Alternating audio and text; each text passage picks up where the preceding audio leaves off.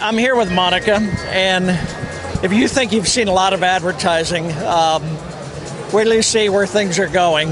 Uh, Monica is going to demonstrate their um, holography in a box um, solution.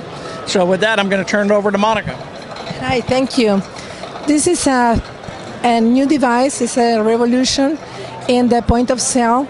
It's a motion revolution. Now you can capture your client with a perfect pitch at the point of sale with our devices. This is a hologram like, but you cannot go through it.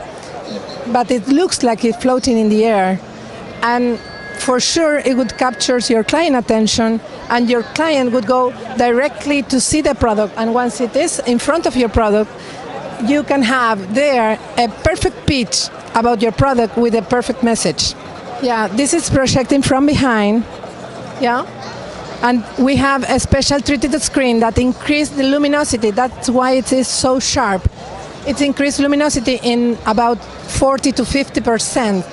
So this is a die cut, and that's why it looks like magical.